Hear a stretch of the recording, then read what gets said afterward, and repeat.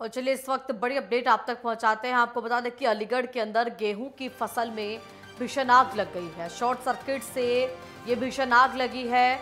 आग लगने से आपको बता दें कि लाखों रुपए का नुकसान यहाँ पर फ़सल जलने से हुआ। करीब 20 बीघा फ़सल जलकर यहाँ पर राख हो गई। मौके पर दमकल कर्मी पहुँचे, आग पर काबू पाया गया।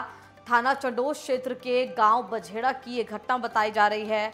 जहाँ पर आपको बता दें कि गेहूँ की फ़सल में आग लगने की ये घटना सामने आई है अलीगढ़ के अंदर। और इसी के साथ लगभग 20 बीघे की जो फ़सल थी गेहूँ की, वो यहाँ पर पूरी तरह से जलकर राख हो गई है। कारण यहाँ पर शॉर्ट सर्किट बताया जा रहा है, तस्वीरों में आप देख सकते हैं किस तरह से ये यहाँ पर भयावह नुकसान भी कहीं ना कहीं उठाना पड़ेगा जिस किसान की फ़सल का ये नुकसान हुआ है।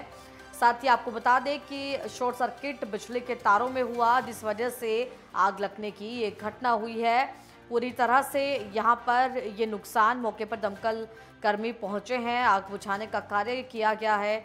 अलीगढ़, उत्तर प्रदेश के अंदर आपको बता दें, ये गेहूँ की फ़सल को लेकर ये जो तमाम चीज़ें हैं वो सामने आई, जहाँ पर आपको बता दें कि भीषण आग लगने की घटना ये हुई है। पूरी तरह से गेहूँ की फ़सल पककर तैयार इस समय है, जहाँ पर शॉर्ट सर्किट की वजह से आग लगने की एक घटना हुई। अलीगढ़, उत्तर प्रदेश के अंदर मौके पर दमकल कर्मी मौजूद है और इसी के साथ वहाँ पर आग पर काबू भी पाया गया है, लेकिन लगभग 20 बीघा बताया जा रहा है कि गेहूँ की जो फ़सल है, वो पूरी तरह से जलकर राख हो गई है।